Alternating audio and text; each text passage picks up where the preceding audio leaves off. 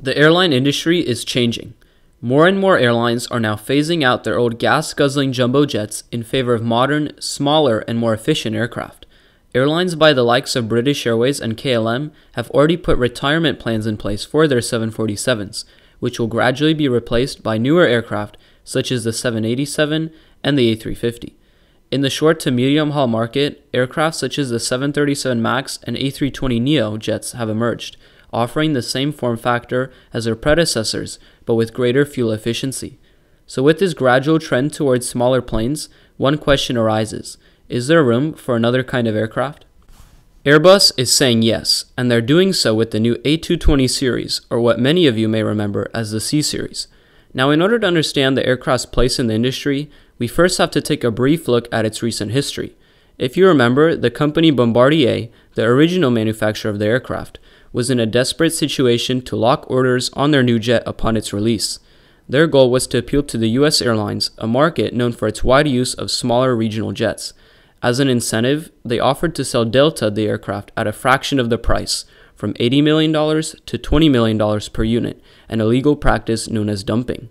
What followed was a 300% tariff placed on the C Series jet, which rendered the program unprofitable in the US market. But then suddenly, in October of last year, Airbus announced that it would be acquiring a 50% stake in the former C Series program. This meant that the aircraft could be manufactured at their assembly plant in Mobile, Alabama, bypassing the import tariff placed on the Canadian manufacturer and thus saving the program. Then, in July of this year, the aircraft was renamed to the A220 and it officially became a member of the Airbus fleet. So, why is the aircraft so special then? Well, because it represents an area that until now has been untouched in the aviation industry the market between regional jets and traditional short haul fleets. With a range of over 6,000 kilometers, it has the ability to reach all major destinations in the US and Europe with one flight, and could even fly transatlantic if it wanted to. At the same time, however, its small size allows it to fly to many regional airports that, say, a 737 could not fly to. Essentially, the aircraft has the best of both worlds the range of a medium haul aircraft and the size of a small aircraft. Why is this significant? Well, it's a perfect representation of where the aviation industry is headed.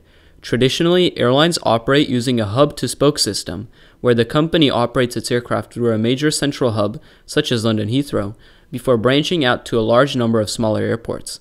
However, the industry is changing with airlines such as Norwegian opting for a so called point to point system, where the aircraft flies directly to the destination without going through a major hub. Such a system does not make sense to be operated by large aircraft, which is where the A220 could work.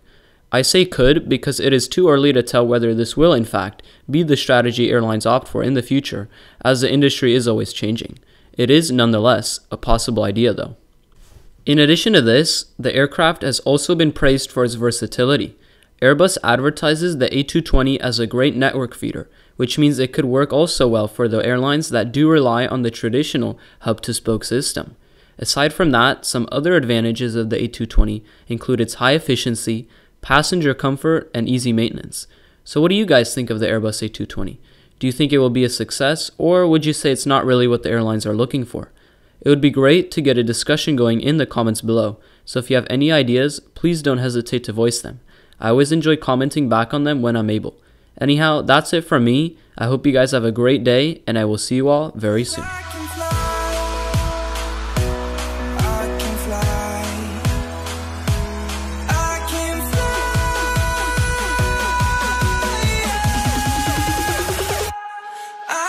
fly